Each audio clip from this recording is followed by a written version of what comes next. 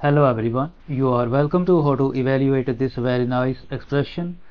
Root negative 1 to the power root negative 1. We know that uh, root negative 1 root negative 1 is equal to i. And this uh, root negative 1 root negative 1 is equal to this i can be written as uh, 0 plus uh, 1 times i. Now sine of sine of pi over 2 is equal to 1 and the cos of cos of pi over 2 is equal to 0. So in this equation we replace this 0 with this cos of pi over 2 we replace this one with this sine of pi over 2 so this will become root negative 1 is equal to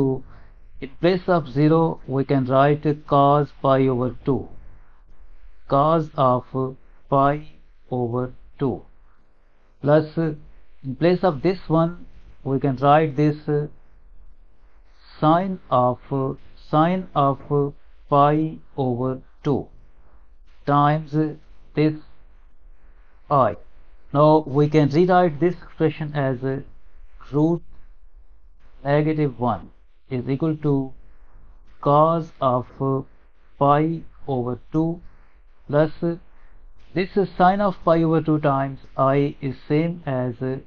i times sine of pi over 2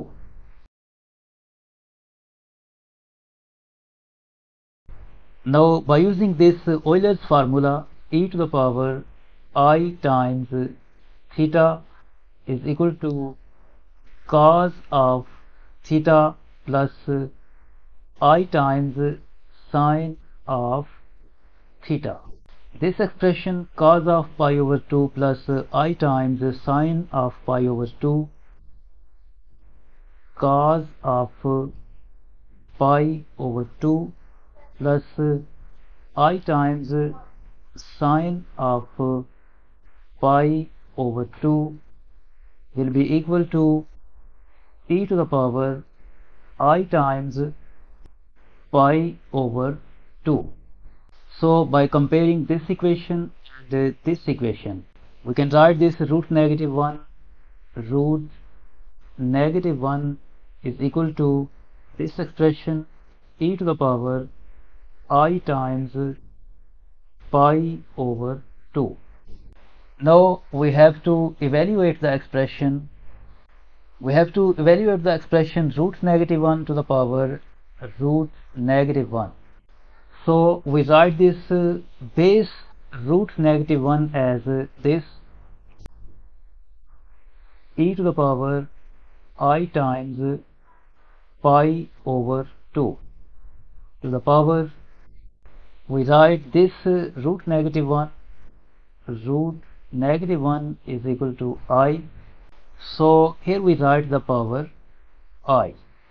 Now by using this property of exponents a to the power m whole to the power n is equal to a to the power m times n. This expression will become e to the power i times i i squared times pi over 2 now because root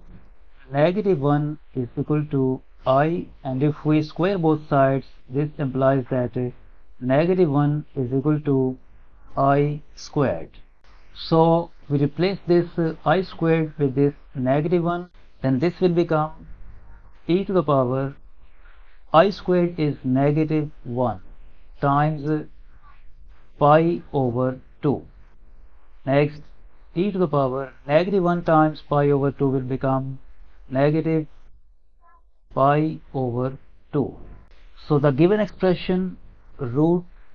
negative 1 to the power negative 1 is equal to e to the power negative pi over 2 this is the final answer of this problem